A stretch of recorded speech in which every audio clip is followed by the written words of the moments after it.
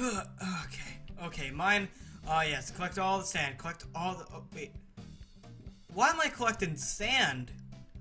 Man, I must have gotten so bored of Minecraft 1.9 that I just went crazy and started mining sand? What is wrong with me? Wait a minute. I know what to do. If I'm bored of Minecraft 1.9, why don't I go and check out Minecraft 1.10?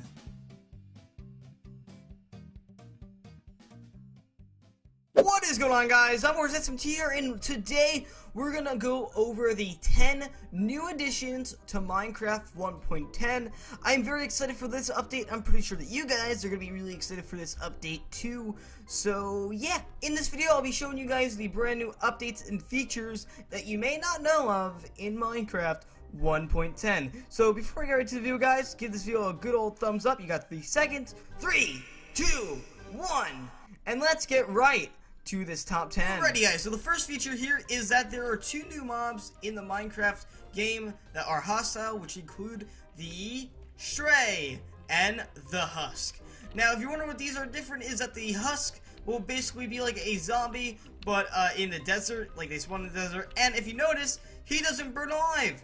Unlike the Stray, on the other hand, which is a skeleton, uh, which will burn in a day, and this guy spawns around, I believe, ice biomes, and uh, he actually will be able to drop slowness arrows if you actually can kill him. You'll be able to get some slowness arrows for him. So let me go kill him real quick. And as you guys can see, he has dropped arrows of slowness. That is pretty cool. On the other hand though, when a husk kills you, or when it attacks you, what it will actually do is it will make you lose hunger along with health. So not only is it dangerous for health, but it's also dangerous for hunger, which can eventually be dangerous for health. So overall, the new mobs here are pretty, pretty mean. In Minecraft 1.10, there's also the polar bears, which will obviously spawn in ice biomes, and the polar bears will actually spawn in cubs, and I believe what will happen is if you punch the cubs, the mommy bear won't be so happy about that. Or uh, the mommy bear will chase you anyways. Alright, I'm, I'm getting out of here. Wait for this polar bear. So a little side note about these polar bears is that they're actually faster in the water. So you, you don't want to be by these guys when you're in the water, alright? So I'm just gonna... I'm just gonna go away from this guy, alright? What about you? Are you nice to me? Yeah, you're nice. See, you don't have a baby, that's why you're nice. But now that you have a baby, you're gonna you're gonna get a little defensive about that, aren't you? Aren't, you? Yeah, you're getting a little defensive about that, aren't, aren't you?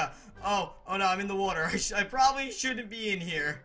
Oh no. In Minecraft 1.10, there are brand new spawn eggs for a lot of other characters, such as the Wither Skeleton, uh, the new mobs like the Stray, and the Husk, and also some other characters such as the Cat, the Donkey, the Mule, the Skeleton Horse, the zombie horse, and some more. In the new Minecraft 1.10 update, there's also a new block called the Magma block, which you can actually find in the nether near lava patches. And basically what this block will do is if you walk over it, it'll do some damage to you. However, if you simply crouch over it, it will do no damage. So I'm assuming if someone was smart enough, they'd be able to make some sort of trap with these things, which would be pretty cool. But yeah, like I said, there's really not much you can really do with them other than just walk over them harmlessly or, well, eventually die from them. In the new Minecraft 1.10 update, you can actually find Enderman naturally, which is actually kind of scary because if you can see over there, an Enderman actually picked up a nether block. So it's pretty scary because you never know when an Enderman might go near you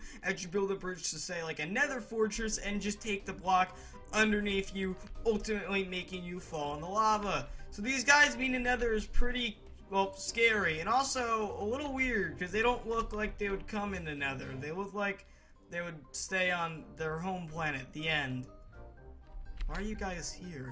The next feature in Minecraft 1.10 is actually the bone block, which is actually pretty cool. Now, you can actually find these in structures underground, and I do believe you can craft these with bones or bone meal. And as you guys can see, they actually form in shapes similar to this, and plus they're really cool. As you can see, they almost work like wood does, where if you face a certain way, so does the log, or the log of bone, or whatever you prefer to call it, whatever it is, it's a bone block. It looks really cool, and that's that's all you need to know about it. It's a bone block, and it looks really cool. The next block in Minecraft 1.10 is the Nether Wart block, and this block isn't really too special. It is literally just another storage block in Minecraft, but instead of any, you know, ores or whatever, it's actually for the potion device, or not potion device, but the potion item that you need called the nether wart, which you find in the nether. And finally, they've added a nether wart block to the game, which looks really, really creepy or gross. It looks like blood in a way. Uh, but no, you can craft these only using nine nether wart, just like you would craft, say, a diamond block or an iron block, whatever type of block, you know, the usual three by three. So uh, yeah, it, it's kind of pointless, but uh, it looks it looks pretty good. looks pretty good. Alrighty, guys. So the next feature in this is the data block or the structure block, as it is properly called. As you guys can see, this is actually more of like a command block type of block because I, I mean I know nothing about this stuff. I know nothing about redstone. I know nothing about command blocks, but I do know that this item is used to basically create, uh, I believe, recreate build-ins, save files, all that kind of stuff, and it's mainly used for map builders. So it's actually pretty cool, and it might help out with map creations if you are into making Minecraft maps. Alrighty guys, so the next feature is literally unbelievable. This is definitely the best update to Minecraft yet there is actually a auto jump feature. As you guys can see, I am not pressing space by doing that. I'm literally not pressing space. If you don't know what it sounds like when I press space, that's what it sounds like.